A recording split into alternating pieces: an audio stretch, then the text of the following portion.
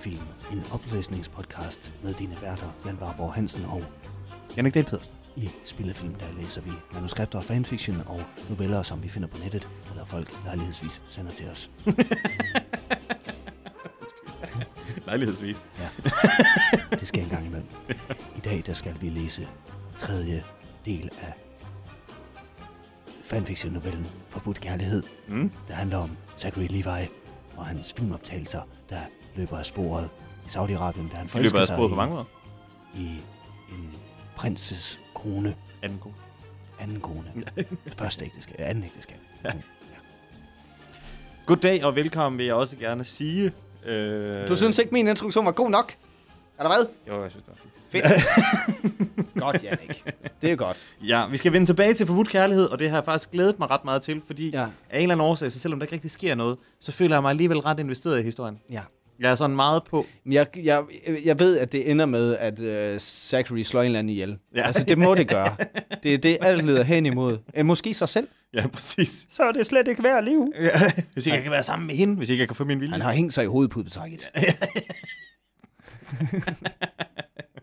Han har kvælt sig selv i puden. Han har spist en hel pude. altså, døde han af at blive kvalt i den? Nej, det så ud til, at det lykkedes ham at sluge den helt. Og så Og døde så er han krop efterfølgende. af. Hans krop gav op.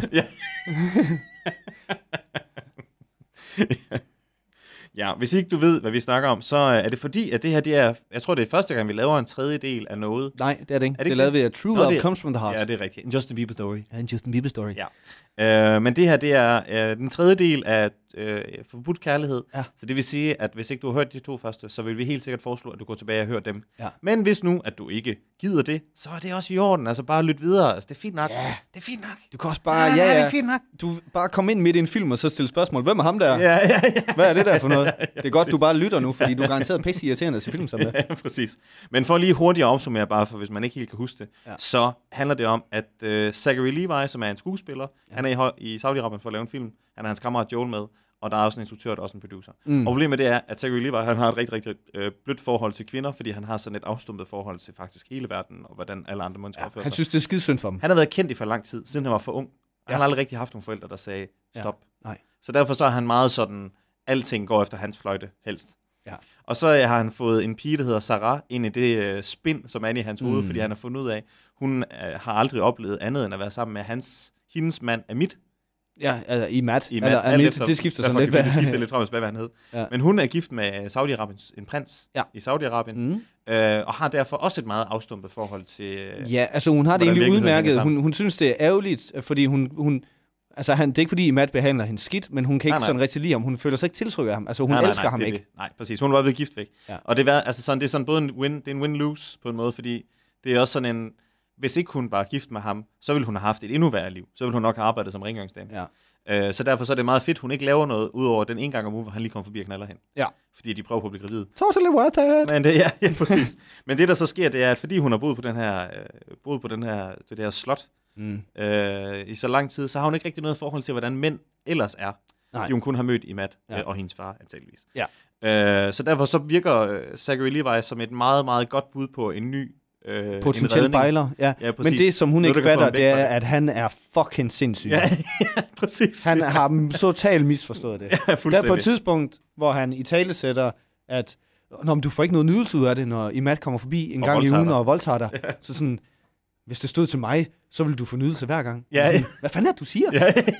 Det kan du jo ikke bare sige. Nej, du skal jo netop sige, Prøv at det der, det er da forfærdeligt, du bliver voldtaget. ja, det er da det mindste, man kan gøre. ja, ja, ja, Det er sådan, jeg vil bare gerne have, at du, at du prøver at opleve sex på en fed måde. Ja. Også lidt, så jeg også kan få noget fisse. Ja, ja, Det er klart, det giver sig selv. ja, præcis. Men, men også mest for dig, fordi det er synd for... I stedet for, at jeg hjælper med at stoppe det der, ja, ja, så knipper jeg dig bare lidt også. Ja, Hvor ja. det bare er lækkert for dig, måske. Ja, præcis. Jeg har lige slet fisse på dig også. Ja, men, det er altså, det. ja. men kun Ja, men fordi det er jeg ved, at så sutter du også mig senere. Jeg vil gerne fortælle, hvordan at, øh, du får en orgasme, og den måde, man får orgasme på, det er selvfølgelig ved, at jeg putter min pik ind i dig. Ja, ja. Det er klart. eneste måde. Det er klart. Altså, sådan Men det, der så er sket, det er, at de går lidt og lader som om, de har gået lidt og været sammen hver aften, faktisk. I 10 dage har de været sammen hver aften, Ja. hvor de har knaldet hele natten og sovet en lille smule. Og der er Ja. ikke nogen, der har fundet ud af det endnu. Nej. Men problemet det er Jo, så... Joel, han ved det godt lidt. Ja, Joel ved det, det er hvad hedder, Zachary Levi's ven. Ja. Og problemet det er, at, øh, at hvad hedder hun, øh, Sarah, hun har sagt, er så hun kan ikke blive gravid. Ja. Og så Zachary, han er sådan, okay, hun har styr på det. Fedt, jeg Hun ved ikke en skid om sex. Hun ved ikke, hvad en pik er. Hun har Nej. aldrig rørt ved en tissemand før. Nej. Øh, Udover med hendes fis. Ja. Øh, og, og, så det vil sige, hun ved ikke, hvad en skid, hvad noget er. Så derfor har hun selvfølgelig styr på, hvornår hun kan blive gravid og ikke gravid. Så jeg stoler 100% på det. Ja. Jeg er bare med. Ja. Og så, øh, så, så, så, så latterligt. Og så kommer han bare med på den historie, om hun ikke kan blive gravid. Ja, og så knalder så de bare hver, løs. Hver dag, flere gange om dagen. Zachary Der, Levi, han har glemt at tage kondomer med til Saudi-Arabien. ja, han, man plukker bare løs i hende. Han, altså, han skyder med skarpt i hende tre-fire gange om dagen. Bare sådan, Ja. ja, ja det, det gør jeg. Jeg, jeg. jeg kan ikke få børn. I Matt har prøvet i fire år, og det kan kun være mig, min krop, der er Den noget er galt med. Ja, præcis. Og det kræver så på et tidspunkt, så Joel han bliver nødt til at sige til ham, Ja. for helvede, Zach, Ja. har du overvejet, at det er i Matt, Ja, ja. Der, der ikke kan få børn. Hun godt kan, men det er måske hans sæd, der er noget galt med. Hans anden kone, er heller, han har ikke nogen børn. ja, ja. Han er en mand, der er, hvad er han, 45? Ja. Han har ikke nogen børn. Nej. Og han, er, han prøver ihærdigt. ja, ja. Det er nok ham. Ja. Og så Zack er sådan, fuck man, det har jeg slet ikke tænkt over. For helvede. Det er simpelthen retardation Ja, det er virkelig. af højeste Det er så latterligt. Ja. Øh, men problemet det er så nu, at nu har Sarah, hun øh, er begyndt at lade som om, at hun har menstruation over for Imad, for at undgå at skulle knalde med ham. Ja. Øh, men hun er helt, øh, da- øh, Hun er sikker, helt sikker på, på, at det kommer om nu. at det kommer snart, fordi ja. at, øh, Sådan hun har ikke haft det i lang tid. Ja. Så hun er nok preg-on. Hun er det er nok vores, øh, maxi det pregon er vores øh, udgangspunkt. med Yes. Zachary Levi's. Det er den øh, hurtige opsummering af vores historie her, der hedder Forbudt Kærlighed. Og nu skulle vi gerne læse den færdig.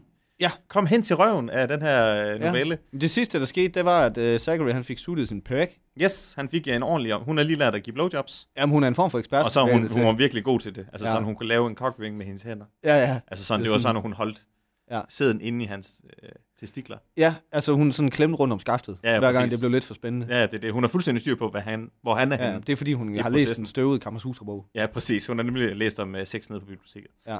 Som man jo gør. I Ingen tænder, ingen noget som helst. God shaft action. Ja, præcis. Det hele kører bare. Ja.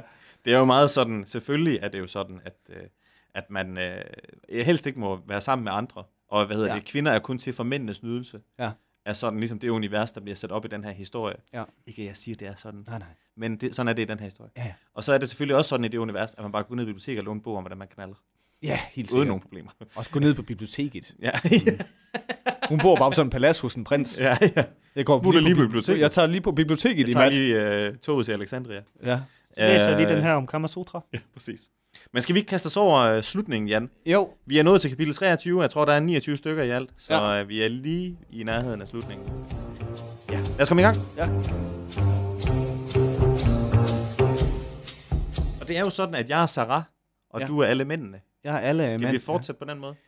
Ja. Jamen, det kan vi godt. Altså, vi, vi kan også skifte fra, fra kapitel. Ja, lad os gøre det. Altså, det ved jeg ikke. Det var fordi, i det sidste, der var ret meget Sarah. Ja, præcis. Og ikke fordi, at altså, selvfølgelig elsker jeg at høre dig læse. elsker at høre dig læse. ja, men jeg, jeg bliver også træt. Nå, ja, men det er også det. Ja, er vi det, jeg skifter hver kapitel, den her. Vi skifter hver kapitel. Yes. Jeg starter. Ja. Kapitel 23. Det er den unge amerikaner ikke. Det lyder som, der er nogen, der er at finde ud af det her. Ja. Tre uger senere, Sara POV. POV. Ligesom sådan en, en fransk ret. Sarah Er Peber. der mere POV? Uh, hun var ved at tage et bad. Det var eftermiddag, og hun frygtede endnu en gang, at det ville være i aften, i Matt kom igen til hendes værelse for at tage sin ret som mand. Igen så glemmer jeg, at der overhovedet ikke er kommet af det her. Ja. Han havde været der to gange siden den aften. Første gang havde hun bildt ham ind, at hun stadig blødte. Jeg ved godt, det betyder. Som man Jeg gør. ved godt, det betyder. Ja. Anden gang havde hun sagt, at hun var syg, og havde klaget så meget, at han havde opgivet. Nej, jeg har feber. Nej. Nej, jeg har Åh, feber. jeg kan ikke høre Øh. noget. Og i nat han er sådan, okay, jeg fucking orker det ikke. Tanken om at have sex med ham var så frastødende, at hun faktisk fik det fysisk, fysisk dårligt. Men hun vidste også, at hun nok ikke kunne holde ham, ham fra det næste gang. Den eneste mand, hun ønskede rørte ved hende, var Zachary. Hver berøring fra ham var som balsam for hendes sjæl. Hver kys en glæde, hver smil han sendte hende en gave. Hun lukkede øjnene og drømte sig til en verden, hvor hun kunne rejse med ham i en uge, være hans for evigt, og sukkede så en uge. Hvad fanden står der? Nå, Hun hvad? lukkede øjnene sådan til mere, hvor hun rejser med ham. Jeg Om tror, det er uge. om en uge, ja. Ja, om en uge. Og sukkede så en uge. Det var alt, de havde. Så skulle han rejse. Det er den unge amerikaner, ikke? Nara så på hende. Den ældre kvinde var ved at vaske hendes hår. så, altså hendes eget hår, eller Sarahs Nej, jeg tror, det er Sarah. Ja. Det er sådan, Sarah hvor er det forfærdeligt, at kvinderne har det på den her måde. Ja. Men prøv lige at vaske mit hår også. Ja, ja, ja, præcis. Ja, ja. Sarah åbnede øjnene og så forvirret op på hende. Vidste hun noget? Der, der hvad, Nara? Hvad får dig til at sukke sådan, mit barn? Er han snart rejser? Den gamle kvinde så vidende på hende. Åh. Hun følte sig selv rødme lidt. Tog hun sige sandheden til Nara? Nej, hun ville ikke blande hende ind i det. Jeg ved ikke, hvad du snakker om, Nara. Jeg sukker ikke. Nara sagde ikke mere, men smilede bare, og Sarah lod sig synke tilbage i sine tanker. Endnu et suk undslap hendes læber. Men da hun steg op i badet og tørrede sig, kom Nara pludselig farne over. Nara, pludselig farne over. Hun kiggede på hende, som om hun undersøgte hende nøje. Hvornår har du sidst blødt, Nara? Sarah? Mm. Øh, jeg kan ikke huske det. Jeg kan ikke helt huske det.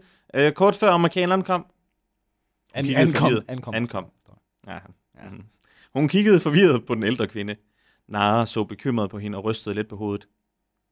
Og det er også ham, ikke? Amerikaneren? Selvfølgelig.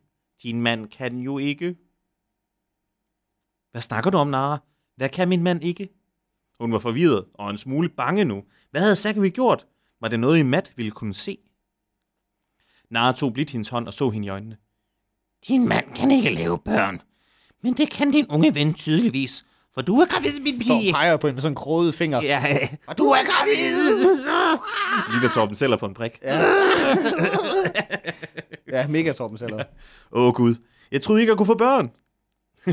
Åh oh, Gud, jeg troede ikke, jeg kunne få børn. Åh oh, nej, jeg troede, den var gal med mig. Hun slog forskrækket hånden op foran munden. Ville Matt tro på, at det var hans? Hvad ville Zachary sige? Hvad skulle hun gøre? Hun ville jo gerne have et barn, og især Zacharys barn, hvis du forstår. Ej. Men det var jo ikke fair over for ham. Måske hun ikke skulle sige noget. Men hvad når barnet blev født, og det var et hvidt barn, og ikke et arabisk barn? Så ville Matt vide det. Hun begyndte at græde, og Nara lagde armene om hun. Så mit barn. Det skal nok gå. Jeg kan få det til at forsvinde, hvis du ønsker det. Okay. oh, okay. Okay, okay, det er jeg overhovedet ikke regnet med. Nej, Det kom ud af left field, det der. Fuck, mand. Nej, hun er mega hugt op. Ja, ja, ja, bare så, alt. så, så, det skal nok gå. Ja, ja, ja. Nara ved besked. Ja, ja, Nara ved, hvordan vi fikser det her. Nara har fikset den slags mange gange. Ja. Nara har gjort det flere Nara gange på kan sig få selv. folk til at forsvinde. Fuck, mand. Ja, så hun kan åbenbart give finde abort. Ja, hun laver en kop stærk te. Ja, så,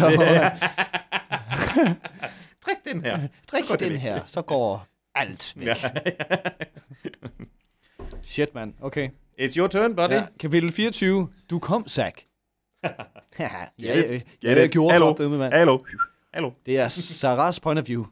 Jeg, jeg er nødt til at snakke med Zack først, før jeg beslutter, hvad jeg gør, okay? Hun kunne ikke klare tanken om at slå deres baby ihjel. Hun vidste også, at det kunne være farligt for hende. Men hun havde nok ikke noget valg. Nara nikkede roligt. Jeg forstår det godt, min pige. Men jeg tror ikke, vi har et valg. Imad er ikke så dum, som han ser ud. Selvom han aldrig vil indrømme det, så ved han, at han ikke kan lave børn. Det er også Zacks valg. Det er også hans baby. Nej, det er ikke. Jeg ved, at jeg har gjort noget meget slemt, men jeg elsker ham virkelig, og han elsker mig. Hun smiler, og uden at tænke over det, løber hendes hånd ned på maven. Den gamle kvinde smiler til hende. Det ved jeg, Sarah. I to er slet ikke så gode til at skjule jeres følelser, som I tror. I lammer af helvede til. For satan. Man, hvad, gør Wow. du, hvad gør du ved ham? Hvad, hvor har du lært det? uh, jeg har vidst det lige fra starten. Åh, oh, vi har ellers virkelig Hvor har du forsøgt- lært det sneaky monkey fra? Puh, hvad er det da?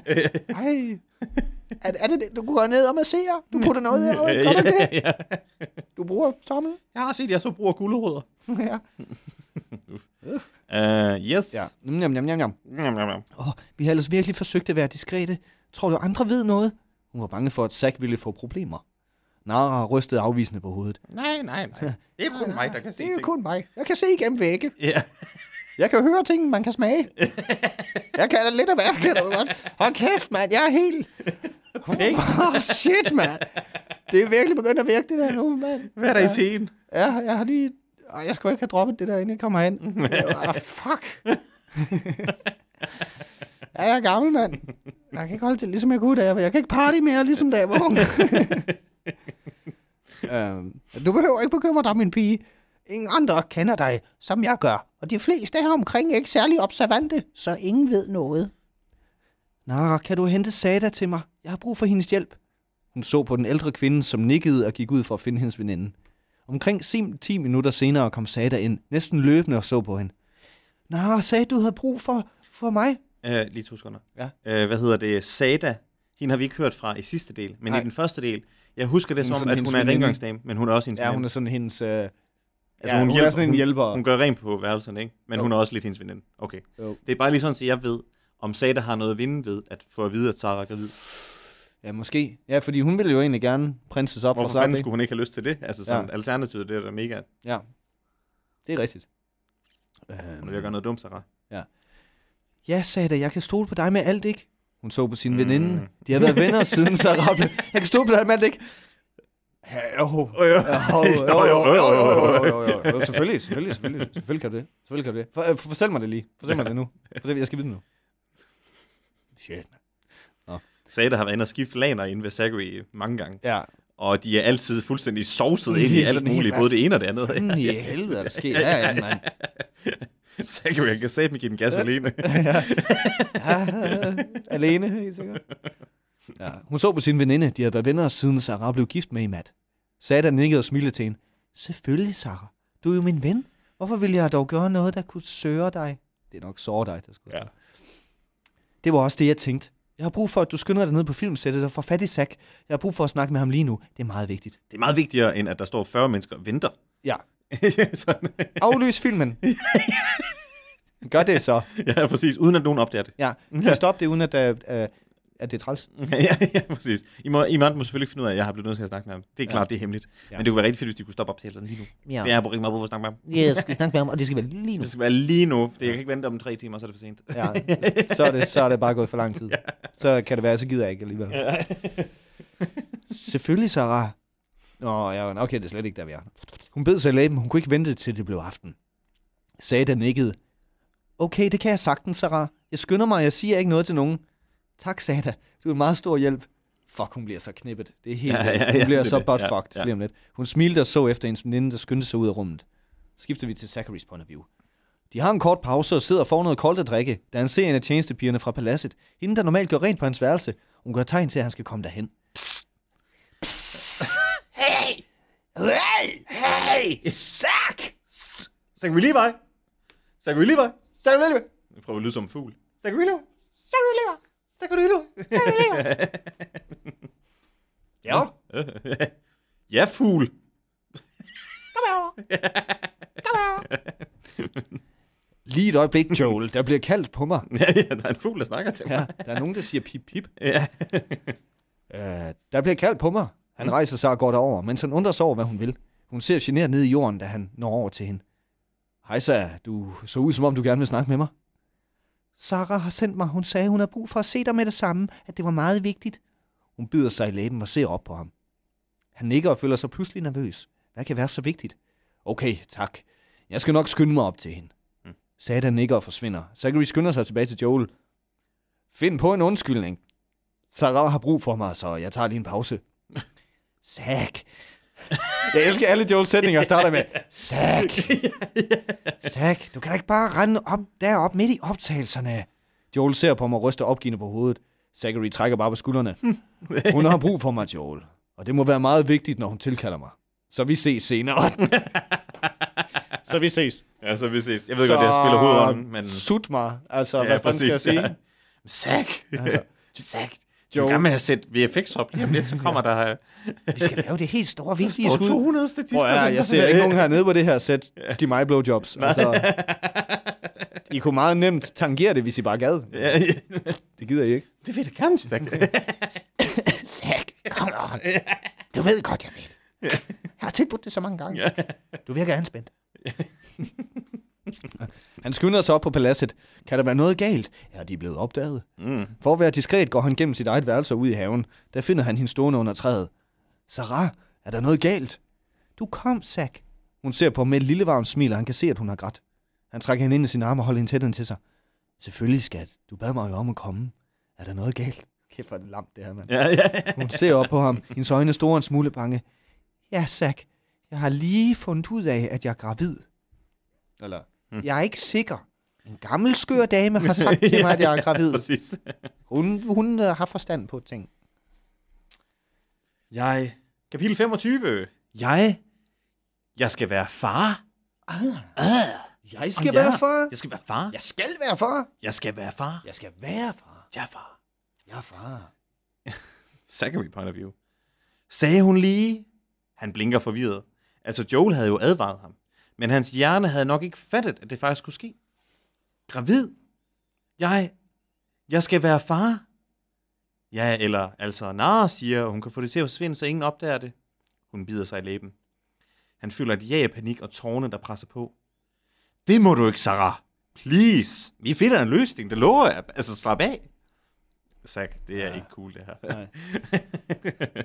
Vi kan godt, vi, vi kan få alt det her til at forsvinde. Hey, nej, nej, nej. Nej, nej, nej, nej. Jeg finder på en bedre plan på jeg sigt. har, ja, præcis. Jeg finder en løsning. I start, imellem så skal vi lige knalde. Ja. Ah, det er bare... Nu er jeg her alligevel. Ja, ja, skal vi lige Jeg er ret langt. Jeg er gået ret langt. Jeg er super sweaty balls. Ja, ja, ja, præcis. Kan du vaske min pø- pølsepose? Nej, det må du ikke, Sara. Please. Vi finder en løsning, det lover jeg dig. Så du vil gerne have barnet? Hun ser op på ham, og han kan ikke, og han kan ikke lade være med at smile til hende. Ja, din dumme tøs. Han lader hånden glide ned på hendes mave.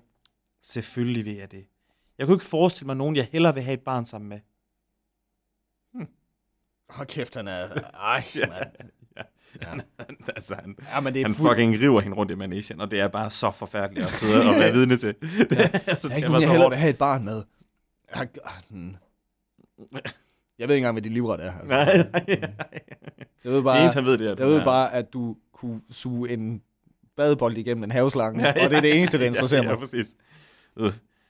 Jeg ved bare ikke, hvad jeg skal gøre, hvis Matt finder ud af, at jeg er gravid. Så vil han vide, at noget er galt. Hun ser bekymret ud. det er fedt, fordi vi er jo inde i hovedet på Zachary. Hun ser bekymret ud. Hvad er hun bekymret over? Jeg har lige sagt, at jeg nok skal ordne det. Han er nødt til at finde på noget, og hurtigt. Han kan ikke lade det ske med noget. Og han har måske fået en idé. Der er bare en, han lige skal have fat i. Giv mig et par dage. Jeg har en idé. Det vil ikke kunne ses før om noget tid. Så et par dage burde ikke kunne skade. Han ser bedende på hende. Han er bange for, at hun prøver at få det fjernet. Ikke kun fordi han ikke ønsker barnet væk, men også fordi han ikke ved, fordi han ved, at det ikke vil være en læge, der gør det, og det vil være farligt for hende. Det er nemlig rigtig sæk. Ja. Han er så klog. De har ikke POV. læger hernede. Sarah POV. Jo, jeg har ikke nogen læger hernede. Folk hernede, de ved jo ikke noget om noget. Det vil være rigtig farligt at gøre det der, du har tænkt dig at gøre. Ja. Fordi det er jo helt, altså det er jo, har du set toiletterne? Altså, Der er bare et hul. det er bare et hul. De tørrer sig med deres hænder. Så POV. Jeg håber, din idé virker mere end noget andet. Hun ser blidt på ham, og han kysser hende varmt. De godt nok pisse ligeglade. De står bare ude i haven og snaver. Det er fint nok. Hun er glad for, at han ønsker barnet, også selvom hun stadig er bange for, at det ikke er muligt at beholde det. Jeg troede virkelig ikke, jeg kunne få børn.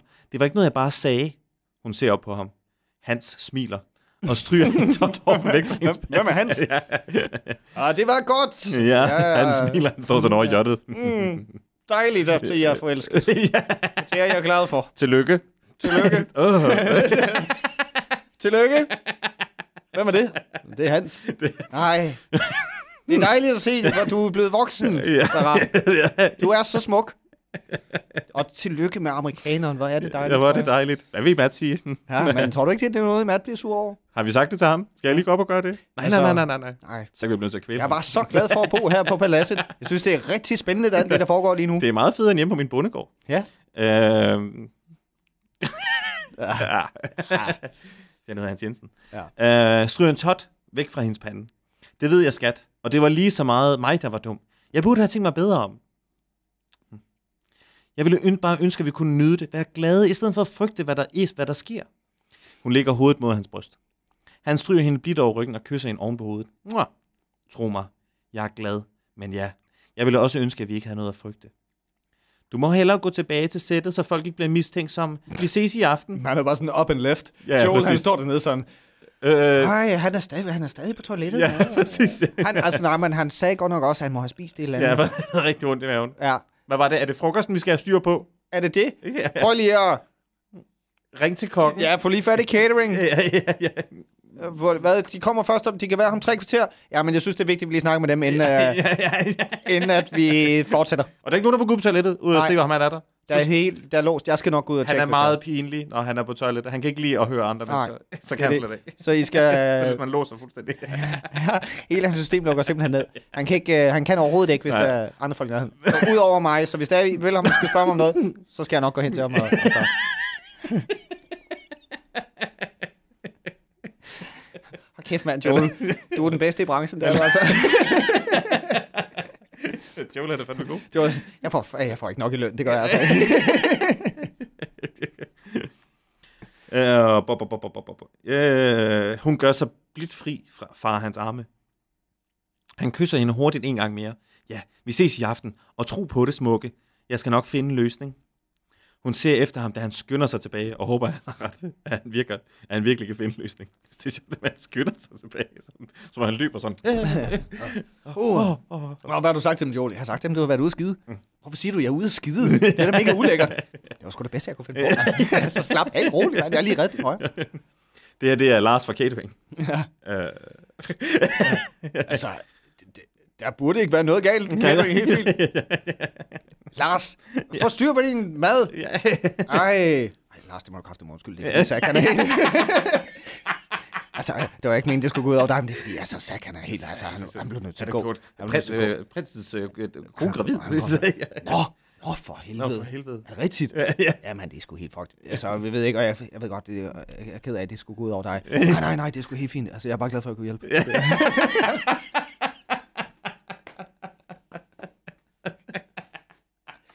tak, Lars. Du er med en guttermand. Nå, lille Lars. Han er sød. Øh, wop, wop, wop, wop. ja, vi... Nå, wop, wop. Øh, øh, hun ligger sig ind på sin seng og drømmer om, hvordan det vil være at tage med Zachary hjem. Men hun har simpelthen ikke fantasi til at forestille sig livet i USA. Jeg sådan ned, prøver sit bedste på at forestille sig et højhus. Åh, oh, hvordan, hvordan vil det af den mund? Hvordan staver man til Hollywood? Ja, præcis. Der er nok kameler til alle. ja. mm. Mm, De drikker sikkert bare hele tiden dejlig varm mælk. Ja, ja, ja. Mm, så lækkert. Sada POV. Hun har mistænkt i nogen tid, at Sarah lavede noget, hun ikke burde med Zachary. De to sender hinanden blikke konstant, og hun havde fundet et af Sarahs tørklæder på Zacharys værelse, da hun ryddede op. Hmm. Hmm, Hvad er det her? hvad er det her? Og et par matching underwear. Sarah troede, at de var veninder, men i virkeligheden var Sada jaloux.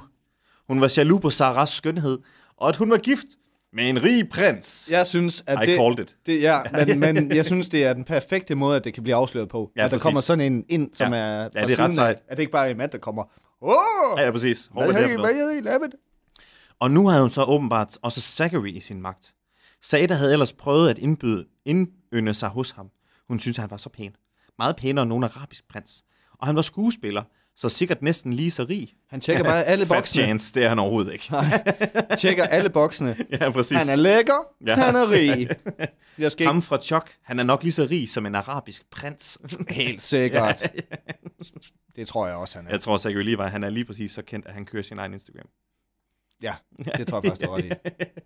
Shit. Ja. Det gør Christoffer ikke engang. Nej. Bare lige for at sætte kontekst på. Ja. Øh, hun havde håbet, han ville tage hende med hjem. Væk herfra til en bedre verden, hvor hun kunne være en stjerne. Hun havde fulgt efter ham, da han kom op til paladset. Han havde haft så travlt, at han ikke havde opdaget det. Sarah var gravid med Zacharys barn. Hvordan ved hun det? Mm, Det gætter det hun. ved hun ikke. Jamen, det må Ja, være noget, hun har regnet ud. Eller også så har hende der Nara talt over sig i en brændert. Ja, det kan selvfølgelig også være. Ja. kan fandme høre. Hold kæft, mand. Jeg kan ikke blive gravid mere, lige så godt det. Jeg er helt, jeg er Jeg er helt fucked. Jeg er løbet tør. Ja. Sarah. Ja, det, jeg sagde det. Sarah, det er fint. Ja. Øh, ej, det var bare tillykke med det barn der. Hvad? Nå, for helvede, det er Sarah ikke dig, der er ret. Det er. Ja, det er mig, der har sagt det. Hvad siger du? Hvad? Shit. Sada havde haft lyst til at skrige. Hvorfor skulle Sarah have alt? Nej, hun ville sørge for, at hun mistede alt. Oh, shit. Bitch! Fuck, det bliver spændende nu. Yes. Jeg er på kapitel 26. Det er du nødt til, Zack. Ja, uha. Ja. Så, jeg tror, det er Joel, der Ja, siger det tror jeg også, det er Ja, Joel. Det er nødt helt sikkert Joel, der Zack. siger det. Helt, helt ærligt, kom nu, mand. Jeg løber hurtigt her, Zach. Jeg løber virkelig hurtigt. Jeg kan ikke følge med til at styre styr bag Jeg kan det er helt ærligt, mand. mm. uh, Zachary point of view. Han lå på sin seng og havde netop afsluttet en telefonsamtale, da Joel kom faren ind, meget forpustet og med skræmte øjne. Zachary satte sig op og så forvirret på sin ven. Det lignede ham ikke hisse sådan op. Hvad sker der, Joel? Hvor er der ildebrand? Ej, ej, hvor er han pres, mand. Og sådan, han har gjort en, en, en, en saudiarabisk prinses øh, kone gravid. gravid, så kommer hans homie ind og er sådan totalt flustered. Ja, ja, præcis. Fordi at han bare sådan lukker sættet ned og Ja, ja, ja. bakker ham op og sådan noget. Kommer ind sådan sådan, hvad så Joel, hvor er der ildbrand? Fucking asshole. Fuck dig, Han Zachary er Levi. en fed idiot. Jeg hader ham. Nå. Zach, nu skal du høre efter og ikke flippe ud, okay? Det er vigtigt, at du forholder dig i ro, okay? Joel så bekymret på ham. Han begyndte at føle sig skræmt og tør i munden. Njum. Mwah. Hvad foregår der, Joel? Hvad er der sket? Øj. Jeg stødte ind i Matt. Han ved, at Sarah er gravid, men ikke hvem faderen er. Zach. Han har tænkt sig at piske hende i morgen for at få hende til at afsløre det. Du er nødt til at rejse i aften, for det er vel dig, ikke din idiot. Joel så bange ud. Zachary rejste sig. Det er fordi Matt han er sådan, hun er blevet gravid. Jeg har hele tiden godt vidst, det var mig. Jeg ikke kunne. Ja, ja, ja. Så nu er der været den anden. Ja, Så nu skal jeg piske. ja, ja. Det bliver jeg nødt til.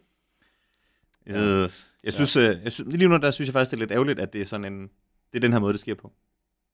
Jeg vil hellere have været der, da Matt han opdager det, Ja. end at Joel han kommer ind sådan, Nå, men der er lige sket en hel masse ting, øh, så, Det er blevet opdaget, men det er for svært at skrive. ja, ja, præcis, ja. ja, fuldstændig. Nå, Øh, Zachary rejste sig. Han kunne ikke fatte det. Det var hans skyld alt sammen. Mhm. Jo, Joel, selvfølgelig er det mig, og jeg tager ingen steder.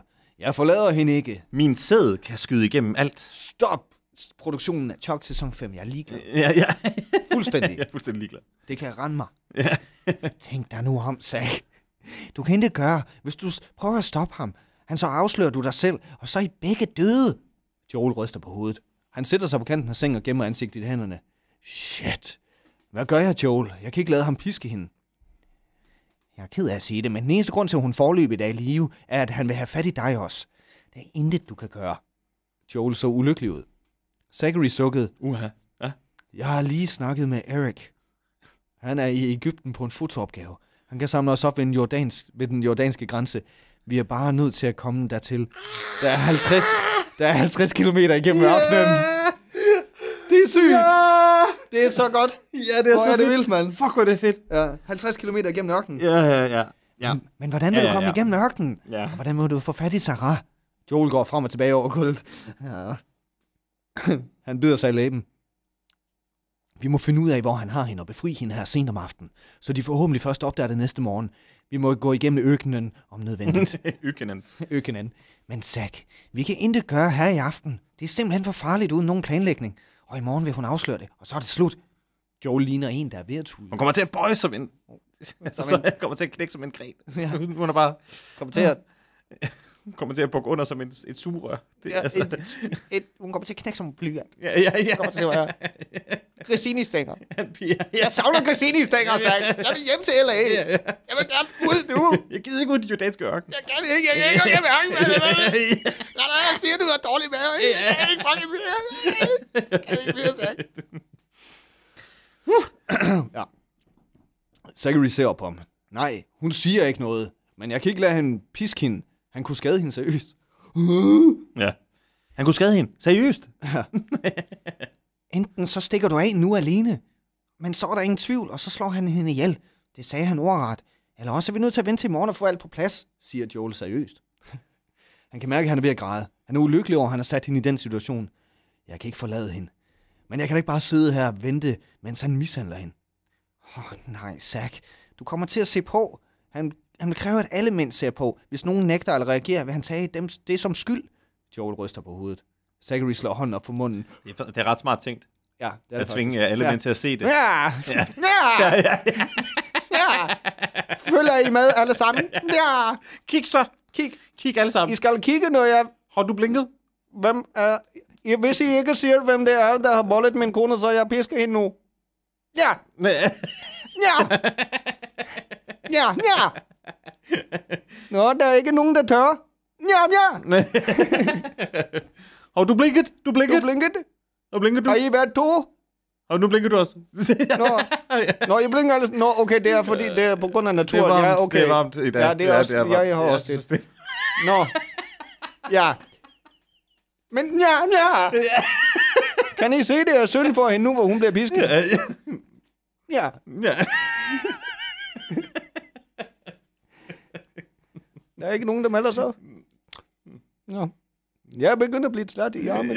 Jeg kan jo ikke blive ved med at piske, så hun dør, og så fordi jeg... Altså, Mm. nå. Vi tager ham der. Dig. Tag dig.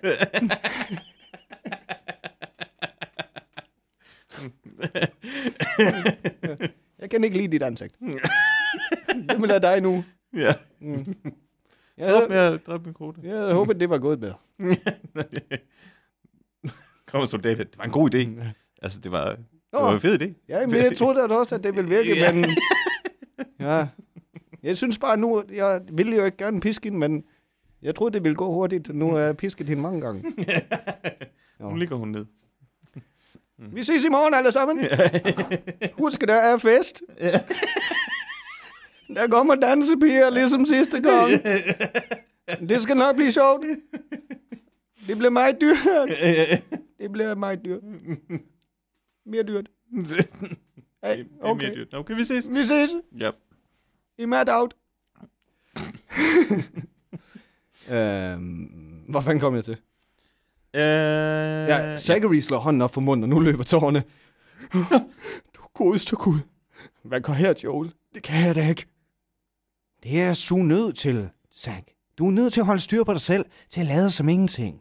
Ellers er I begge døde, og så håbe, at du har ret i, at hun siger intet, svarer Joel. Så er der Sarah, point of view. De er blevet afsløret. Imat ved, at hun er gravid, men hun forstår ikke, hvem der kan sladret. Mm-hmm. Hmm, hvor mange mennesker ved det? Det er ærgerligt, at uh, Sater, hun bare lige pludselig regner det ud, i stedet for at hun bare lige overhører den situation. Ja. Fordi det er det, der lige mangler, Ja, det er faktisk for at de her ting, der lige hænger sammen. Så vi bare Ja. lade som om, at det er sket. Jo, helt sikkert. Hun har bare overhørt det. Ja, situationen, og så er det hun det. har overhørt det der med Sarah. Ja, præcis, ude i haven. Ja. Skal jeg vaske dit hår? Ja, det kan også være. Ja. Skal jeg ordne dit hår? De er blevet afsløret. Imat ved, at hun er gravid, men hun forstår ikke, hvem der kan sladret. Hun er bare glad for, at vedkommende ikke har afsløret Zachary, og hun håber, at han ser at komme væk. Imat har slået hende flere gange. men, ja, ja. ja. men hun har intet sagt, bare spillet dum. Hun vil heller intet sige, når han pisker hende. Hun ved, at hun vil dø lige meget hvad. Men hun kan redde Zachary, og det har hun tænkt sig at gøre. Men hun håber stadig, at han stikker af, for Matt vil tvinge alle til at overvære piskningen, og hun er ikke sikker på, at Zachary kunne klare det, uden at afsløre sig selv. Lige nu ligger hun krøllet sammen på seng og græder. Ked af, at hun har bragt ham i den fare. Hun er sej, var. Ja. Hun er virkelig sej. Kapitel 27. Din sidste chance er Sarah. Sarah POV. Den næste formiddag kommer Imat sammen med to stærke mandlige tjenere for at slæbe hende udenfor. Hun gør ingen modstand. Bare tag mig. Det er fint. Vi kommer til at arbejde for det. Jeg kommer slap nu. Ja, ja. Nara prøver, Nara prøver at lægge sig imellem. Imat, har du ikke prøvet at gøre hende gravid? Måske er det Allahs gave. Jeg er ikke dum. Jeg er ikke dum. Jeg er ikke dum. Der er ingen gave over den der, den bastard, der er i hende. Og jeg tør næsten garantere, at det er en af englænderne. En af englænderne. Ingen, ja, det er Ja. ærgerligt for Imat, han ikke lige helt har fattet, at de er amerikanere. Ja. han går tegn til, at de skal slæbe Sarah med sig. Dagen med. Ja, tag med. Nara klynger sig til Mats arm, men han slår hende med bagsiden af hånden. Slip mig, din gamle kælling. Hvis jeg finder ud af, at... Øh... Hvis jeg finder ud af, at vi... At, at, undskyld, jeg skifter lige. Der er lige Slip mig, slip mig, din gamle kælling. Hvis jeg finder ud af, at hvis det noget, dør du også. Ude i gården bliver hun bundet til en bum, der er beregnet til heste og kameler. Og Imat flår hendes kjole af hende, blotter hendes nøgne krop. Mm, han træder i karakter nu. Jeg kan Ja, det gør han ikke godt lide, ja. ja kan det er nice. lide Hun ser op. Hun ser op og får øje på Zachary. Han ser meget sammenbit ud, og Joel står ved siden af ham, og er tydeligt klar til at stoppe ham om nødvendigt. Hendes blik fanger kort Zacharys øjne, og prøver at fortælle ham, at han må være stærk og ikke vise sine følelser.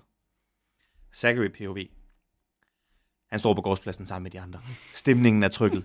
Ingen har lyst til at være der. Så slæber de Sarah ud og binder hende. Han vil bare løbe op til hende, beskytte hende. Han kan se, at Joel er klar til at reagere, hvis han gør noget.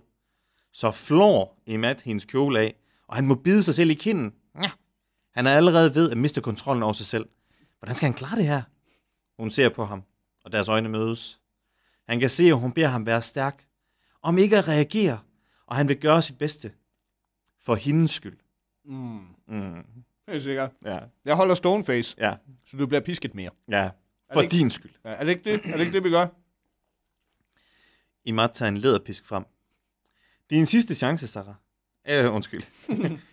det er din sidste chance, Sarah. Fortæl, hvem faderen er, og du slipper for pisken.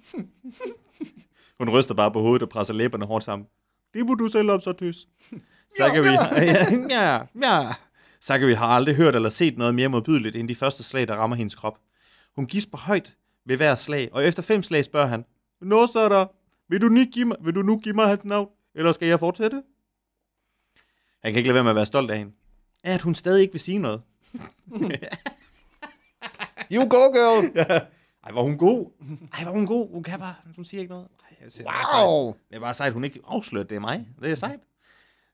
Selvom han bare vil have, at hun skal slippe for mere smerte. Det er lige før, han kan mærke hver et slag selv. Ja, Ja, helt ja, lige før. Ja, ja, lige før, ja. Uh! Uh! uh. Au, au, au, au, au, au, au, au. Ah, ah. Uh, ja. Er der flere snacks? Er der mere det her oliven? er der mere det her olivendøb? Ja, ja, ja. Er der mere, er der mere hummus?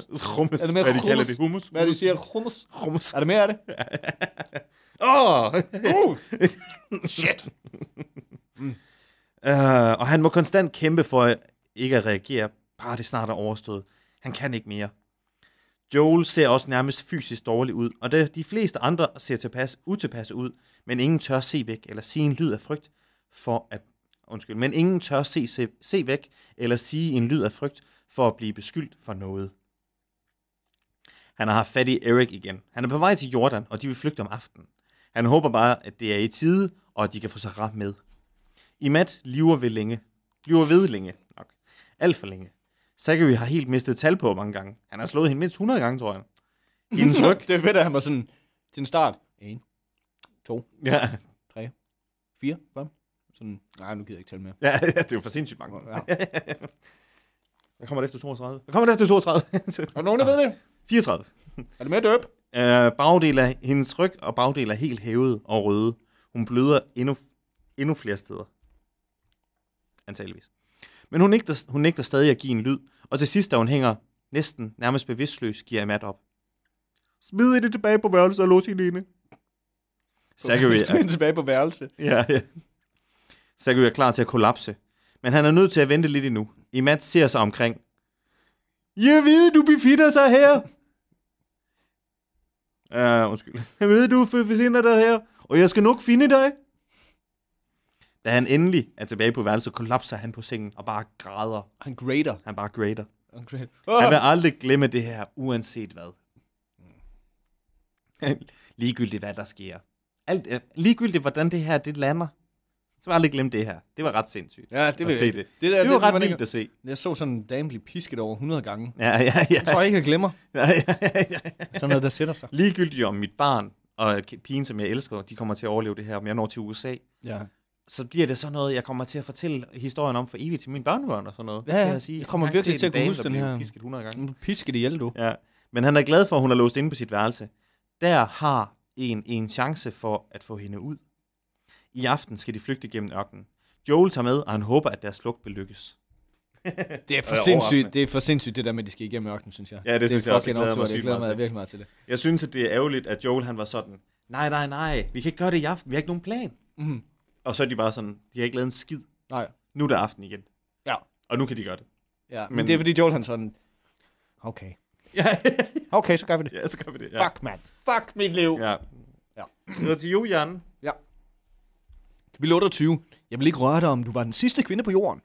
Uh. Zachary point of view. Det er Joel, der siger det. Ja. Nej, nej, Nej, nej. nej. gamle, gå væk. Jamen, så kom. kom nu, mand. Hvorfor er, kan Joel ikke bare være sammen med Sada? Ja, helt ærligt. Problem solved. Ja. Hvorfor kommer folk ikke til mig med sådan nogle ting? Ja. Jeg har det Jeg er jo helt sikker, fordi hvis Joel han knaller Sada, så er der ikke nogen, der har knaldet Sarah lige pludselig. Nej, Hvad, ja, ja. hvad er din logic? Jamen, Sada, hun afslørede det, fordi hun gerne ville være, hun gerne vil ødelægge Sarah. Men hvis Nå, nu Joel ja. havde fået Sada, Det er rigtigt. Bing, bong, bing. Jeg troede faktisk også, de sådan lidt havde knippet på et tidspunkt. Ja, det troede jeg egentlig også. Så kommer Mr. Fixit. Det har de også. Det har de. Ja. Ja. Zachary point of view. Det banker let på hans dør, og han sætter sig op og tørrer øjnene. Han, han, ved, han ved jo ikke, hvem det er. Altså, det kan godt være, at der er nogle af dem, jeg godt kan græde foran, men ikke alle sammen.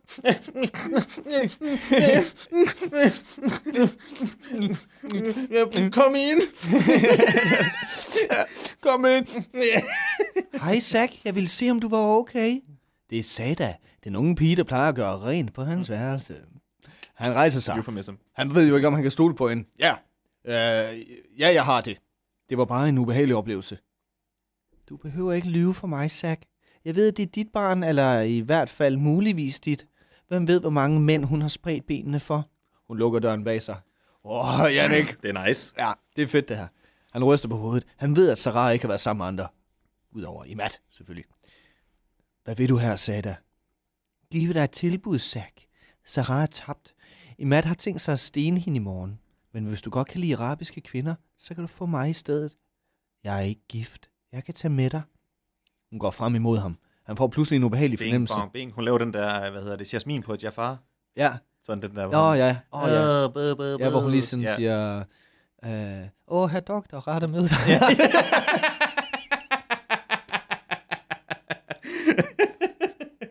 ja, far, det er kamelen, er det ikke? Ja. Åh, oh, doktor, ret at vide det. Jeg kan ikke huske, Det er det eneste tidspunkt, hvor Jasmin hun er sjov. ja, men jeg kan ikke huske, hvad det er, hun siger i den der situation med jer. Nej, nej, men hun siger, at hun hiver ham i hvert fald i skægget Ja, ja. med fingeren. Åh oh, ja, det er rigtigt. Ja. ja. Ah, hun er også fræk. Ja. Nå, øhm, chap, chap, chap, chap. Ja. Hun går frem Hun hips ham. for days. Ja, det har hun virkelig, ja. Det er. Hourglass. Det er derfor, hun, Hun bliver er fanget ind i timeglas. For, for years. Hvad siger du? Hun bliver fanget ind i timeglas. Ja, fordi hun er, Hun er, fanget af sin, hun er fanget af sin krop. Ja. Det er jo derfor, at alle folk gerne vil have hende. Mm. Mm. Det er derfor, jeg vil have hende, fordi hun er fucking lækker. Det er faktisk rigtigt, Jan. Han får pludselig en ubehagelig fornemmelse. Det var dig. Det var dig, der fortalte i Matt det. Hvor kunne du? Hun stolede på dig. Den tøs fik altid det hele. Skønhed, en rig prins, alt hun pegede på. Dig og nu en baby også. Det er ikke fair. Jeg vil have dig. Hun er næsten henne ved ham. Han har seriøst lyst til at slå hende. Han har aldrig før reelt haft lyst til at slå en kvinde. Sådan reelt. Sådan lidt. Nej. Jeg dropper det.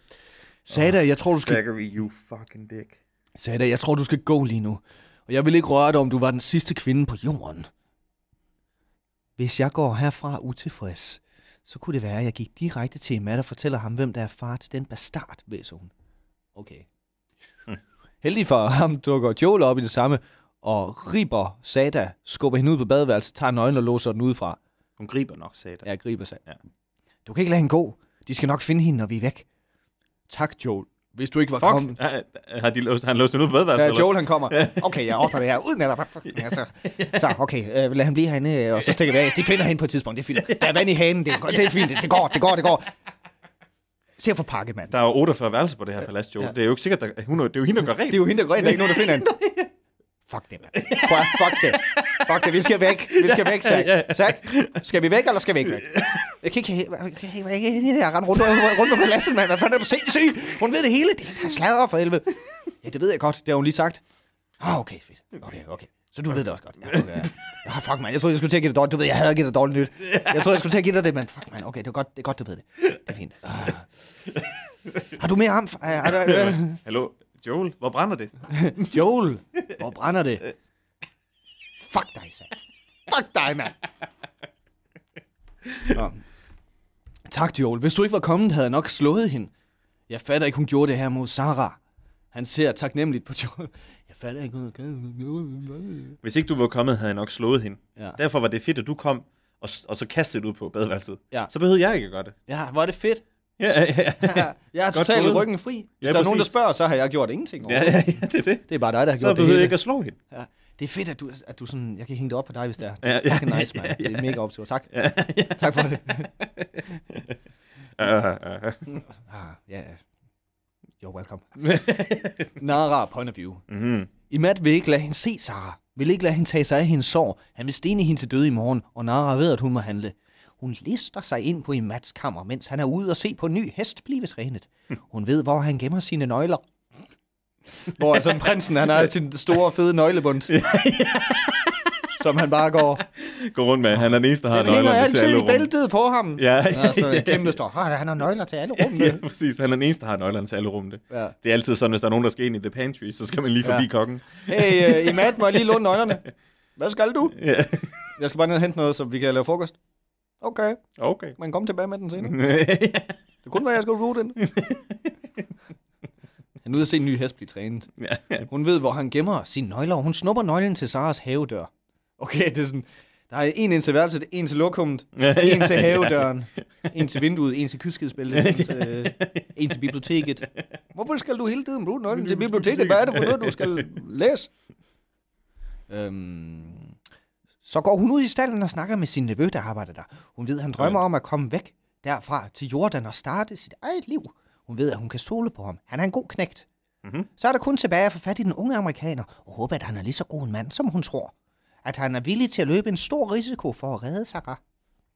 Kom for. Zachary's point of view. Yes. Ham og Joel sidder og snakker om deres plan, da det banker på døren. Endelig tiger Sada stille ude på badeværelset. Han kan ikke lide at have en låst derude, men de tør ikke andet. Så banker det igen på døren. Zachary går over og åbner døren på klem. Til hans overraskelse er det Nara, den gamle dame, der har taget sig af Sarah. Han lader hende komme ind. Zach, du er nødt til at få Sarah væk i aften. Han vil stene hende. Hun ser op på ham med håbefulde øjne. Han nikker. Han ved godt, han kan stole på Nara. Jeg ved det. Vi er ved at planlægge det. Jeg har en ven, der henter os ved den jordanske grænse. Jordanske, jordanske, jordanske grænse. Jordansk. Vi skal bare have Sarah ud. Her er nøglen til havedøren. Du kan få hende ud den vej, og min nevø venter på jer uden for stallen til midnat med de hurtigste heste. Han fører jer sikkert til grænsen og sælger så hestene, så han kan blive i Jordan og skabe sig et liv. Fedt med den sidste info. Ja, ja. Jeg giver ikke en fuck for ham, don't care. Jeg er ligeglad. Nej, nej, Long hair don't care. altså, han fører jer sikkert til grænsen. Hvad gør han så med hestene? Hvad gør han med hestene, Nara? Ja. Dem sælger han. Og får et nyt liv. Jamen, hvorfor? Så han kan skabe sig et nyt liv i Jordan. ja. Oh, fedt. Fedt, godt for ham. Nej, nice, nice, nice. Er det dit nevø, der ved? Det er din ja, nevø? Ja, ja. Okay, fedt. Nice, Nu er jeg glad. Ja, fedt. Det var bare her, så nu har jeg bare ro på. Ja. Uh, hun presser nøglen ind i hans hånd. Åh, for satan. Zachary er helt overvældet, hiver den gamle dame ind i et kram.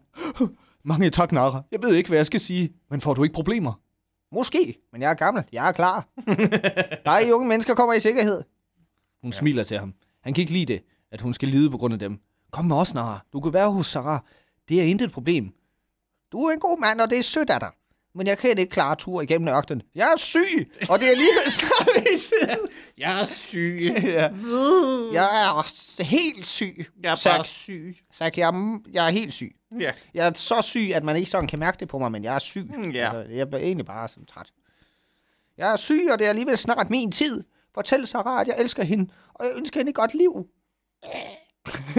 Hun vender sig for at skjule, at hun græder. Hun vender sig for at gå, men Sada begynder pludselig at råbe om hjælp ud fra badeværelset. Nara ja. ser på døren, og Zachary siger, det er Sada.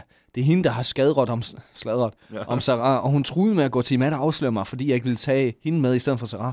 Vi havde ikke et valg. Jeg forstår. Jeg har aldrig kunne lide den pige. Jeg sørger for, at hun bliver fundet i morgen. Nå, der bliver bundet en sløjf på det. Ja, ja. Det er Og nice. så forlader hun rummet med et smil. Jeg siger ikke, hvilken tilstand. Men jeg vil jeg dør. Jeg sørger for, at hun er bliver, syg. at hun bliver fundet i morgen. Kan I lide maden? Det er lækkert, ikke også? Det er lammekud. Har I lagt mærke til, at jeg ser ikke er ret? Ja, det havde faktisk godt. Kan I lide maden? Åh, kapitel 29, Jan. Ja. Åh, gud, Zack. Jeg troede aldrig, jeg skulle se dig igen. Sarah POV. Hun ligger på sin seng. Hun har ikke flere tårer tilbage. Imat var der på et tidspunkt og meddele, at hun ville blive stenet den næste dag, og han ville tvinge alle til at se på. Hun håber, Zachary er væk inden.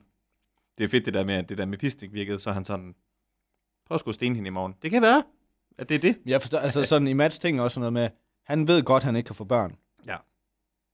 Men det er sådan, han prøver på at bilde alle folk ind, at han godt kan få børn. Ja. Så hvis det var, at han lige pludselig sådan fik et barn, Ja. så opnår han jo det, som han gerne vil overbevise folk om. Ja, men det er jo et white baby. Ja, det, det, der er er jo ikke problemet. nødvendigvis Molatti. Nej, det er rigtigt. Jeg synes også, den er sådan lidt... Det er sådan mærkeligt. Den er sådan, lidt blød. øh, Jeg ved godt, jeg ikke kan, men nu hvor du godt kan det, som jeg prøver på, så skal du dø, selvfølgelig. ja, præcis. Men Jan er lidt nogle gris. Nej, nej, selvfølgelig. Øh, hun håber, Zachary er væk inden. Alt hun ønsker at vide er, at han er okay. At han er kommet væk. Så kan, nu, så kan hun dø med ro i sjælen. Ikke at hun ønsker at dø, men hun ser ingen anden udvej. Hun ligger på maven. Hele hendes ryg brænder smertefuldt. Hun ville gerne sove. Mørket udenfor fortæller hende, at det er sent nu, men hun kan ikke. Så hun ligger bare og tænker. Hun er ked af, at deres lille baby aldrig får en chance. Hun ville ønske, der var en udvej for babyens skyld. Og hun ville ønske, hun kunne sige farvel til Zachary og få ham til at forstå, at hun ikke bebrejder ham noget. Det er Max hans skyld. Det er sådan ret meget hans skyld. Ja, det hele er hans skyld. Pludselig pusler det ved havedøren. Det er også fordi, at hvis bare Zachary, han kunne fucking keep it in his pants, Ja. så kunne han bare have ventet. Hvis han er så forelsket i hende, kunne han så ikke bare lige have ventet de der tre uger Lad os med at knalde hende og tage med hjem, og så knalde hende. Ja. Eller i flyveren. Ja. Altså sådan, who cares? Men prøv at tænke, hvis hun var helt vildt dårlig til at sutte pik. Ja, ja, men han Det er også bare hende jo alt fra bunden. Ikke det der med at sutte pik, der var Nej, det var okay, noget, det er rigtigt. Der er det- brug for vandet biblioteket nede Ja, i, det er øh, selvstudie. i Saudi-Arabien. Ja. Pludselig pusler det ved havedøren, og døren klikker op, og så hører hun Zacharys stemme viske. Sarah, er du her? Hun flyver over til døren og kaster sig i hans arme. Åh gud, Zack. Jeg troede aldrig, jeg skulle se dig igen. Men du må se at komme væk. Imad stopper ikke, før han afslører det. Han er allerede sikker på, at det er dig eller Joel. Mm. Er han det? Joel, spændende. Ja, ja, ja. Hvor bliver han af? Vi brænder Joel. Ja, ja, ja. Det er det, vi gør. Vi tager afsted alle tre, skat. Jeg forlader dig ikke. Skat. Skat. Bare rolig, skat. Bare rolig smukke skat. Vi tager afsted alle tre, skat. Jeg forlader dig ikke. Vi har heste. Vente det. Og jeg har en ven klar til at tage imod os, når vi når til Jordan. Han stryger håret væk fra hendes ansigt og kysser hende. Du fatter ikke en skid, gør du vel? Du er så dum. Du er dum, du er heldig, du er flot. ja, ja, Dum. præcis. Du er da helt, du er lækker. Hun ser op på ham med store, bange øjne. Jeg ved ikke, om jeg tør, Zack, og om jeg kan. Det er en hård tur, og Imad vil, komme, vil måske komme efter os. Det finder vi så en løsning på til den tid. Det er en bro, vi brænder, når vi kommer til. Lige nu skal vi bare væk, Sarah. Joel venter på os på mit værelse. Her, tag det her tøj på. Han rakte hende bukser og en trøje. Det ville gøre turen nemmere end hendes store kjoler. Hun skyndte sig at smide kjolen og tage tøjet på. Hun ville ikke have, at Zachary skulle se hendes ryg. Hun vidste, at det ville gøre ham ulykkelig. Hm. Er der noget, du vil have med dig? Han så så rundt i rummet, og hun rystede på hovedet. Hvad fanden? Er det noget af det her, du skal have med? Øh, nej, det er en fængselscelle. Altså bare sådan noget, der kan Øh, minde om et eller andet, hvis det er. nothing here. Måske noget, der kan minde om den tid her. Han tog blidt hendes hånd, og de gik langsomt tilbage gennem haven til hans værelse. Joel smiler. Hej Sarah, godt at se dig. Hej Joel, i lige måde. Og jeg er ked af, at det her giver dig problemer, siger hun. Men han smiler bare og ryster på hovedet. Prøv lige at vente lidt, hvad har jeg, hvad, hvad har jeg aftalt? Ja, ja, ja. Hvad har jeg aftalt?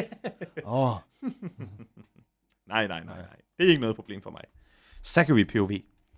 Det er nervepigerne, der lister sig gennem paladset. Det er fedt, at Sarah, hun er bare sådan, okay, fedt, hej Joel, hvad så? Nej, det er jo ærgerligt, ja, det er Ja. hyggeligt. Og så, skifter over til Zachary, han er bare sådan, oh, fuck, man, vi er så meget på den. det er nervepigerne, der lister sig igennem paladset. Selvom Sarah beroliger dem med, at alle sover, og der ikke er vagter, han er nu stadig lettet, da de kommer over til stallen. Ahmed, er du med, med i det her? Sarah omfavner den unge mand, der står ved hestene. Zack og Joel giver ham hånden. Han smiler til hende. Hmm.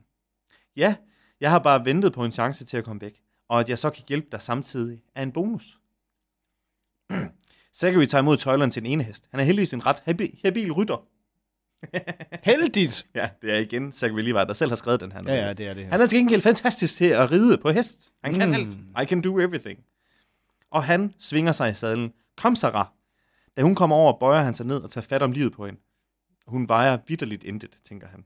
Da han uden problemer løfter hende op Det er ligesom, om hun kun vejer for et menneske. Ja, ja, Jeg præcis. ved, om hun lyver. Du er gravid, ikke også? Er du gravid? Indtil videre er det kun noget, du har sagt, nemlig. Ja. ja, så Der er, noget, nogen har ikke, sagt altså, der, er ikke, burde, der er ikke rigtig noget sådan håndgribeligt bevismateriale på det sådan nej. so far.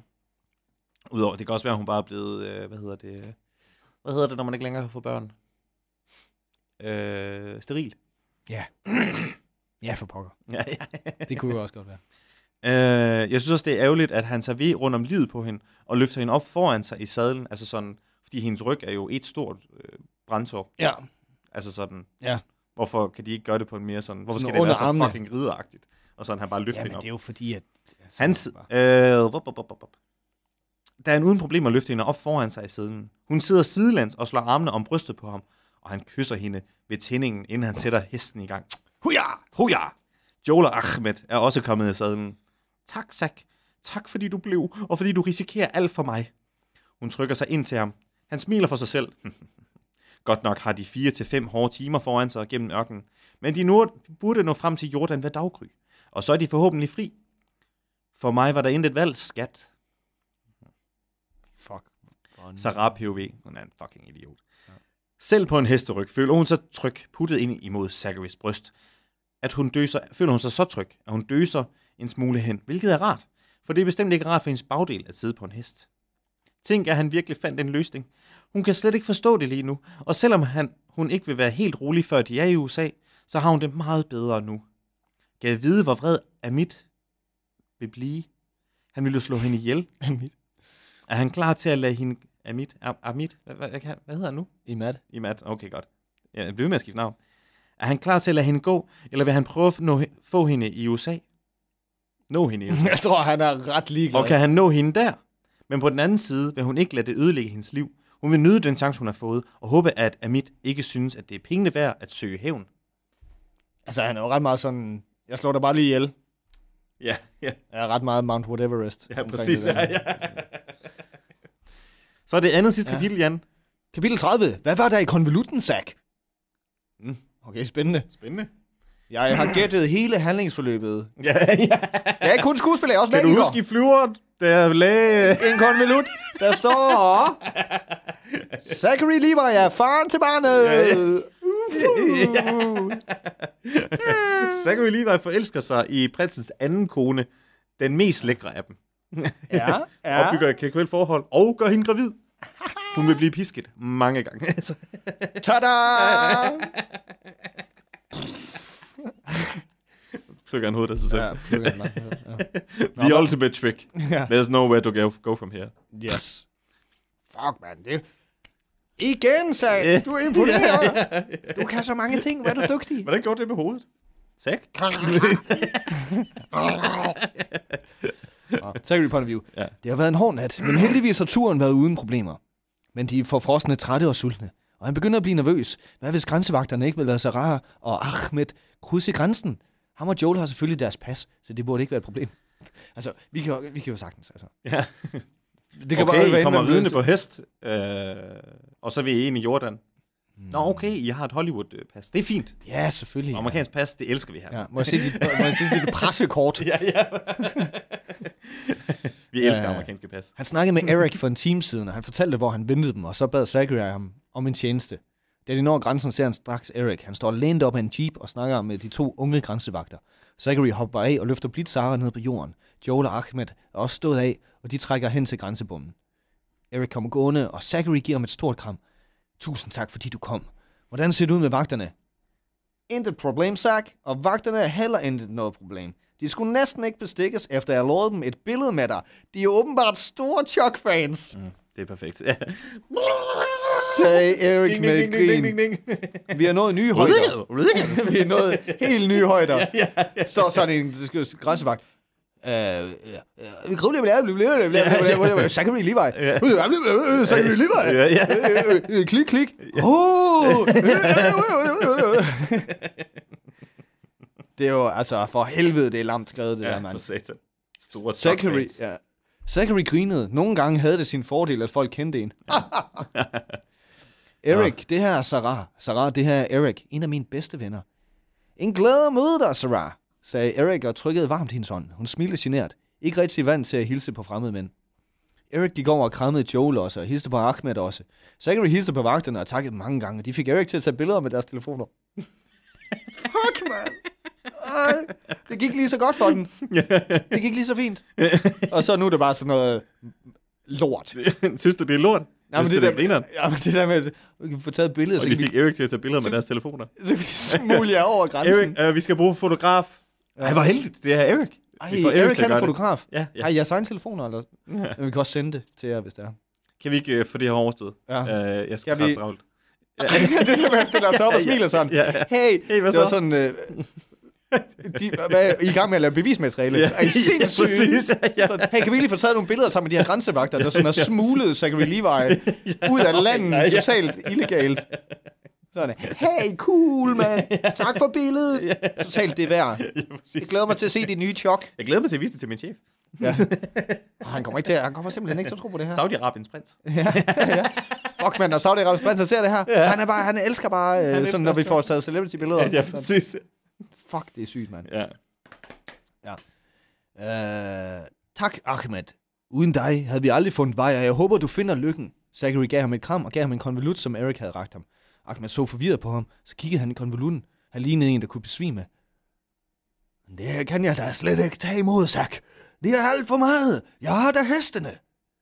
Det kan du, og det gør du, Ahmed. Vi skylder dig vores liv, så endnu en gang tak, sagde Zachary, og Ahmed krammede ham med tårnløb ned ad kinden. Da Ahmed var gået, kom Sarah over og trykkede sig ind til ham. Hvad var det i konvolutten, Zach? Åh, oh, det var bare 10.000 dollars. Så han har noget at starte på. Jeg fik, Åh, oh, det var bare 10.000 dollars. ja, jeg fik Eric til at skaffe dem. Han trak på skuldrene. Han ville helst ikke, at der blev gjort et nummer ud af det. Hun smilede og strøg ham blidt over kinden. Fucking dick. Han er sådan en fed pik, Ja, det er han. Levi. Det er helt vildt. Du er det bedste menneske, jeg nogensinde har mødt, og jeg kan Ah. ikke vente til, vi kan have et rigtigt liv sammen. Uh. Også fordi det er sådan 10.000 dollars. Ja, Og det er sådan en life or death situation. Ja, ja, og han siger sådan, at fik Eric til at skaffe dem. ja, ja. Det er sådan, Sergio Levi har også 100.000 dollars, han godt kunne Ja, ja, ja. Det tror jeg Ja, godt. Det tror jeg godt, han vil have. Når det sådan handler om life or death. Få 10.000 dollars, og de der Men to det- grænsevagter står sådan lidt. What the fuck? Og vi fik bare et fucking billede. Ja, ja, ja. Han har fået 10.000 dollars, vi har lige smut. Altså prøv at vi kan lukke, vi kan lukke det her show ned nu. Vi kan lukke det ned lige her, hvis ja. det skal være. Det eneste, det som der så ikke står i den her, det er, at inde i den der konvolut, der var i virkeligheden en lille sæde, hvor der stod, tak mig rigtig meget. Ja, ja, ja. Tak mig rigtig som om, meget. at der er noget virkelig fedt i den Ja. her konvolut, og så går han over og griber, sådan, så han kan sige til Sarah. Sig, du kan ikke tage imod det, eller jeg fucking smadrer dig. Prøv at, jeg er næsten to meter høj, jeg stomper dig. Åh, oh, tak. Det kan jeg ikke. Det tager imod. Det skal du. det skal du. Åh, oh, det var bare 10.000 dollars. Ja, ja, præcis. Jeg vil ikke gøre for meget ud af det, det er Nej. derfor, jeg gør det en konvolut. Nå, skal vi få taget det billede, drenge? Hvad med 10.000 dollars? Nej, Nej, det er ikke så mange penge har jeg heller ikke. Nå, så Ras point of view. Hvordan føles det nu, skat? Zachary, nå, hvordan føles det nu, skat? Zachary så bekymret på hende. Hun lå i en blød seng på et fint hotel. Det var samme aften. Også bare, de kører bare ind på det sådan mest lux sted. Ja, High præcis. profile. Ja, Hey, giv os Sweden. ja, præcis. Det bedste til min nye kone. Ja, ja. jeg har giftet mig med hende her. Ja, I kender hende nok ikke. Joel, du kan få dit eget værelse. De havde kørt hen til hotellet og var tjekket ind. De havde alle trængt til mad og et bad. Men da Zachary havde set, hvor slem hendes ryg så ud, havde han tilkaldt en læge. De havde fået en creme, der skulle sørge for... De havde fået en creme. Nej. Okay, jeg kan godt. Ja, kom så, ja. Det er fucking bare dumt. Hvor det er unødvendigt. Ja, De havde fået en creme, der skulle sørge for, at der ikke gik infektion, og som bedøvede let. Hun har også fået et par indsprøjtninger mod infektion, og nogle piller, hun kunne tage ved smerter. Så får sådan noget tryllecreme på. ja, præcis. Ja, Fordi nogle sådan whippings. ja, ja. Som over 100 whippings. Ja. Meget bedre. Ta- Ej, okay.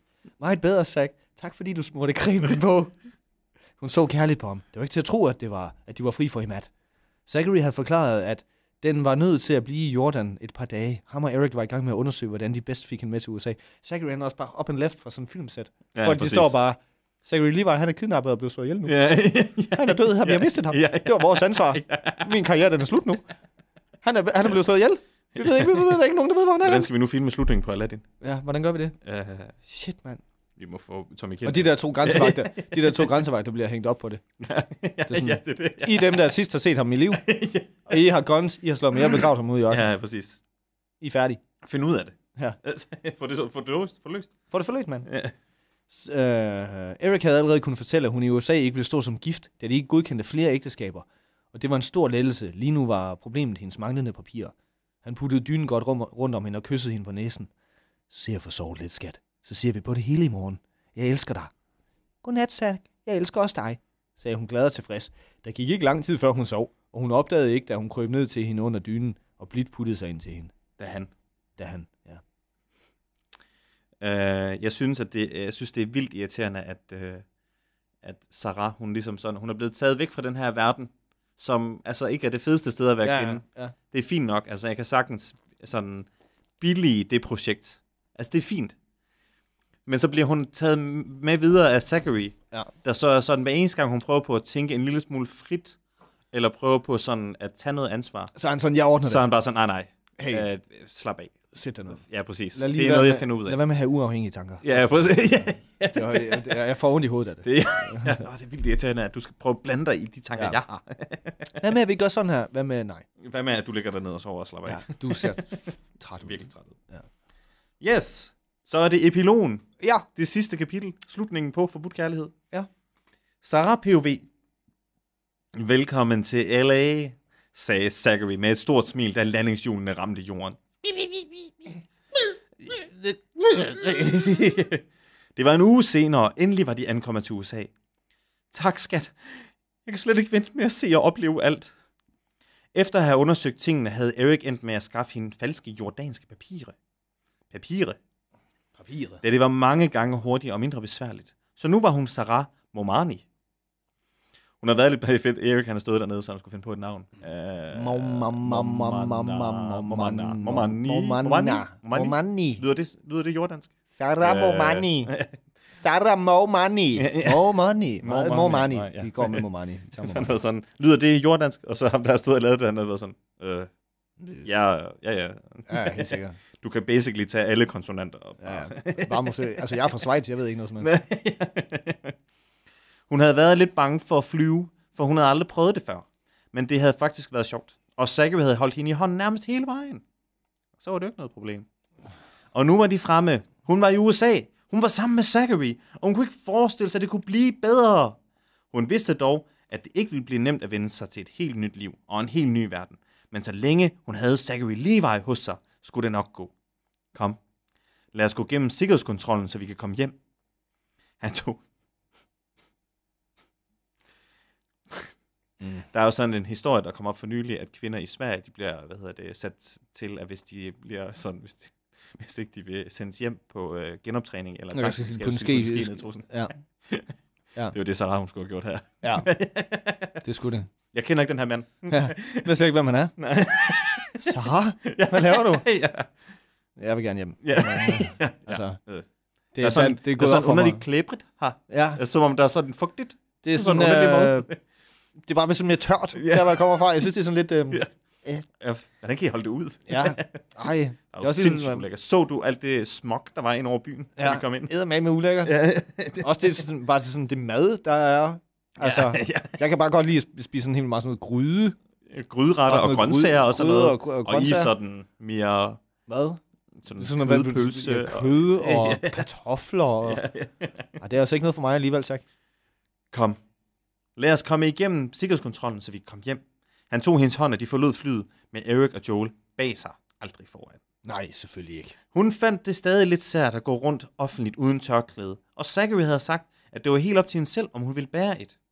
Han er godt nok large. Ja. Jeg elsker Zachary, han er så fucking large. Det bestemmer du bare selv, skat. Det finder du ud af, hvordan du gerne vil. Men, altså, jeg er ikke enig, men du, ja, det virker Ja. undertrykt. Men du, er- det er dig, der bestemmer. Nu er du Du fri. gør det bare. Det er ærgerligt. Nu er altså, du jeg, jeg har jo bare på et tidspunkt sagt, at jeg synes, det var ærgerligt, du har det på, fordi du er så smuk. Ja. Men hvis du har lyst til det, så gør du det Så bare. gør du det bare. Men jeg Jeg synes bare, det er ærgerligt at er- dække dig til. Ja, ja. Det er selvfølgelig din religion og sådan noget. Altså, ja, det er bare sådan det, du er Jeg vil ikke presse dig til noget, men jeg synes, det ville være rigtig irriterende, hvis du gjorde det. Ja. Det er bare ærgerligt, fordi du er så mega smuk. Okay, du gør det. Ja, ja. Jeg synes bare, det er ærgerligt. det var også mærkeligt at være iført kropperbukser og en t-shirt, men temmelig behageligt. Da de lidt senere trådte ud af terminalen i det varme solskin, trak hun vejret dybt ind, sikker på, at det ville blive noget af et eventyr. Slut.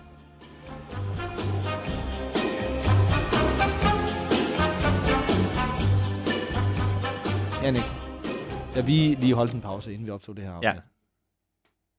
Da vi var, da vi gik, så sagde jeg, jeg har på fornemmelsen, at det slutter helt vildt dårligt. Okay, ja. Ja, det er rigtigt, det sagde du. Det synes jeg, jeg fik ret i. Synes du, det sluttede helt vildt dårligt? Jamen, det er bare sådan, det gik bare lige pludselig meget stærkt. Nå, ja, det, det, det er der rigtigt. stik af, halløj. Ja. ja, ja, men... Jeg synes, faktisk, det var, jeg synes faktisk, det var ret sejt. Jeg kunne godt lide det der med, at det var sådan Jeg en lide, trepunktsplan, og der var nogen, der ligesom ødelagde det, Ja. og så blev de nødt til, men så skulle de slippe hende fri, men så havde hun gjort noget. Altså jeg ved godt, det hele kom sådan ret nemt til dem. Ja. Men i forhold til, at det her det er en uudgivet bog, så, øh, Ja, men jeg så synes, synes- jeg egentlig, at det var meget jeg synes, fedt den sådan blev bedre og bedre. sat sammen. Ja, Altså, ja, den blev sikkert. bedre og bedre. Ja. Øhm, Jeg synes, jeg var på. altså, jeg er ret sikker på, at hun jo nok højst sandsynligt har altså sådan miscarriage øh, alligevel. Ja. Altså, hun er red. Man skal jo ikke tage ud og ride hest og sådan noget. Ja, ja. Det er helt vildt meget. Bare sådan ude i ørkenen. Og blevet pisket og sådan, ja, bare sådan generelt. Ja, præcis. Øh, ja. Plus hun var ikke særlig langt henne og sådan noget. Nej. Øh, jeg tror bare, at det er bare gone gal alligevel. Ja, det tror jeg også. Jeg tror også, altså det, jeg synes, at det, der har været mest forfærdeligt ved at læse den her historie, det er jo også, at man ved, at Sarah, hun får et lorteliv. Ja, det gør hun helt sikkert. Altså Altså, sådan- altså det, det, det går Jeg jo- håber måske, at Zachary, han kan være så large, at han kan være sådan, hvis ikke du gider være sammen med mig, så er det også fint nok. Jamen, det var, det var sådan noget... Øh, Jeg ønsker bare det bedste for dig. Zachary Levi øh, disappears from big uh, from Aladdin movie Ja, ja. turns up in Los Angeles Ja. with mysterious brown woman. Ja, ja, ja. Altså sådan, hvad, hvad, hvad, altså, hvad, der er bare så mange uforløste ting. Ja, ja, ja. Det der med, ah, kærligheden over, vinder over alt. Ja, ja. Fair nok, det Ja. kan jeg godt se, det er det, Ja. den gerne vil fortælle. Ja, ja. Men det er bare sådan, du efterlader bare sådan en heaping, burning Ja. mess. Ja, ja. Sådan, hvad, hvad, går bare fra et filmsæt. Ja. Fuck det, mand. Og Joel, også der bare bliver sådan, Joels karriere er ødelagt nu. Ja, ja. Og det bare sådan, ja, præcis. Ja. Fuck, man. Uh, Mr. Fix It. Øh, det var 500 millioner, der røg her. Ja. Altså sådan, det var fucking mange penge, det er det kostede. Er I klar Ja. over det? Det var sådan rigtig dyrt, Zachary. Zachary, hallo. Zachary. Skal ikke sidde og kigge på... Det er Disney. Sidde, skal I ikke sidde og kigge på din mobiltelefon? Det er fucking Kig op på mig. Disney. Fucking Disney, det her. Zachary. Det er Disney. Det er fucking dyrt, det her. Du ved godt, Disney ejer Marvel. er Ikke? du klar over, at vi har forhandlet med Imad om at få lov til at låne hans bygning? Og han vil med at sige, at det er mere dyrt. Der vil vi sige, det er mere dyrt. Og så lige pludselig, så er du væk, Ja, ja. og hans kone er væk. ja. Er du klar over, hvor fucked alle de folk, der er dernede nu i landet, Ja. de er? Der er ikke nogen af dem, der kan få lov til at komme ud, i og med, at han tænker sig at slå alle sammen ihjel. Ja, ja, ja, præcis. Ja. Indtil at vi får dig herned. Ja. Du, du har Hallo? ødelagt Ja. alle liv, Ja, ja, Nu. ja, ja, præcis. fordi at du ikke fucking kan holde den i bukserne. Og nu bliver Aladdin ikke til noget. Og værst af alt, Værst af alt. Aladdin bliver ikke til noget. Du skulle måske have spillet en eller anden X-mand, Ja, ja, men de ejer Marvel, ja, ja. de ejer altså, og Le- Lego og øh, Lego Movies, det ved jeg ikke. Gør de det, de ejer sikkert det hele. Altså, de laver bare så mange ting, ja, ja Disney. præcis. Og nu har du ødelagt det. Ja, ja. Du har ødelagt det fucking hele. Du kunne have været den nye Han Solo. Zachary. Det, de har Star Wars. ja, ja. De har Star Wars. Star Wars, Zachary. Du vil jo gerne være med i Star Wars, vil du ikke det? Prøv at høre, alle folk vil gerne være Nej. med i Star Wars. Alle vil gerne være med. Lad være med at lyve. Ja. Lad være med at lyve. Alle vil gerne være med i Star Wars. Men altså, det fede for Zachary, det er jo selvfølgelig, at øh, Sarah, hun er rimelig åben over for, at man har flere koner. Og det kommer han helt sikkert til at udnytte. Det gør han. Findes der en to? Det tror jeg ikke. Desværre. Men der findes mere med Zachary Levi, eller hvad? Ja, ja, det gør der. er den det- samme forfatter? Ja. Fedt. Så det skal vi helt sikkert undersøge. Ja. I et senere afsnit af Spil og Film. Nu tror jeg bare gerne, at vi skal sige, skal vi, eller vil- jeg vil gerne sige Ja. tak, fordi du lytter med på vores podcast. Vi siger det hver eneste gang, og vi ved godt, at det lyder sådan ret repetitivt. Men det betyder rigtig meget for os, at I har lyst til at høre vores podcast. Vi synes, det er rigtig sjovt at lave det. Ja. Så det er dejligt, at hvis I hører det her, så betyder det jo, at I også har haft lyst til at høre det. Og det er jo dejligt.